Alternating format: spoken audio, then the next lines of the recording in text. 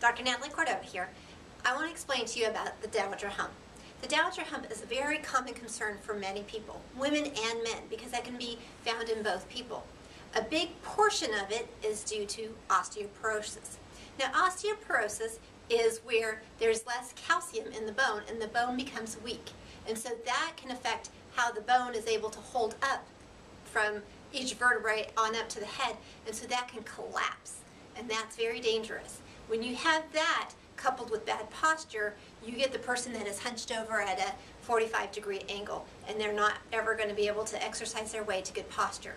So the Dowager hump is bad posture and osteoporosis. So osteoporosis can be handled nutritionally as well as with weights. A lot of people get good responses by um, doing weight training, and it doesn't have to be much, but, but exercising with weights make a big difference.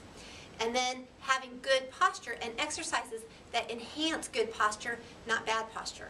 A lot of people will tend to go and do exercises and they'll do a lot of core work, which will be a lot of ab work, which actually makes things worse. Or they'll go and they'll do weights where it's just your, your chest and make your pecs better, um, stronger. But that's going to actually make your posture worse. So the best way to approach preventing the dowager hump is by having a good diet, doing weight training, and doing exercises that strengthen the back, stretch out the front, and keep your head balanced over your shoulders and the, the, your, your hips.